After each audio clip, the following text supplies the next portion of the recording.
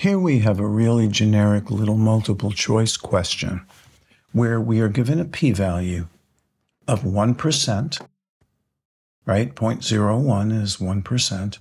And we're asked to interpret this p value at the 5% significance level and at the 1% significance level with the specific task of determining whether the appropriate decision could be a type 1 error. So you need to know a couple of things, and you need to know these pretty well. You need to know the rule for interpreting the p value, and that rule is if the p value is less than or equal to the significance level, then the appropriate decision is to reject the null hypothesis. Otherwise, we fail to reject the null hypothesis. So if you look at a p value of 1% and you compare this to both of these significance levels, you will see that this p value is less than or equal to both of these significance levels. So the appropriate decision at both of these significance levels is to reject the null hypothesis. Now, what type of error is possible when you reject the null hypothesis? Well, you need to have both of these error types memorized. And it clearly says a type 1 error is rejecting the null hypothesis when the null hypothesis is true.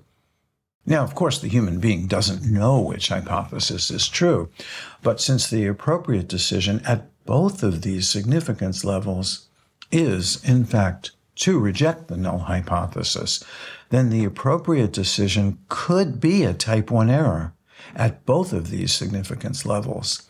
And that makes the correct choice A. Now let's compare that to a question where all we do is we change these type 1 errors into type 2 errors. So this is a copied and pasted question, same significance level. But now we're looking to see whether the appropriate decision could be type 2 errors. So again, at both of these significance levels, as we said before, the appropriate decision is to reject the null because 1% is less than or equal to the significance levels of both 5% and 1%. So that makes the appropriate decision to reject the null hypothesis, which makes a type 1 error possible. But notice a type 2 error is impossible because it clearly says a type 2 error is failing to reject the null hypothesis. But at both of these significance levels, the appropriate decision is not to fail to reject the null hypothesis. It's to reject the null hypothesis. And so type 2 errors are impossible.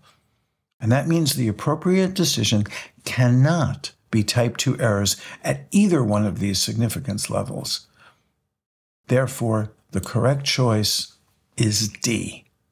False, false.